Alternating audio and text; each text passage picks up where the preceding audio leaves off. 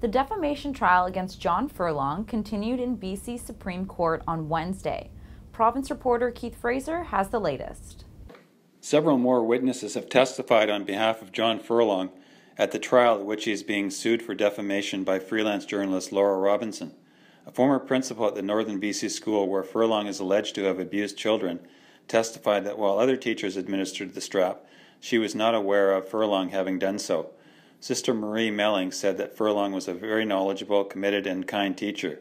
She said one student complained that Furlong made him run backwards up a hill and he got sore legs, but she said she spoke to Furlong about the complaint and he respected what she had to say.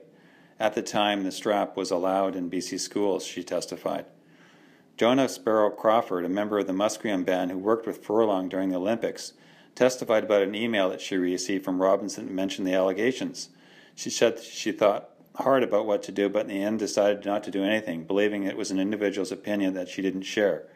Renee Smith Valad, former head of communications at Vanoc, and now in a committed relationship with Furlong, testified about several incidents involving Robinson and about her support for Furlong following the publication of the September 2012 Georgia Straight article that made physical abuse allegations.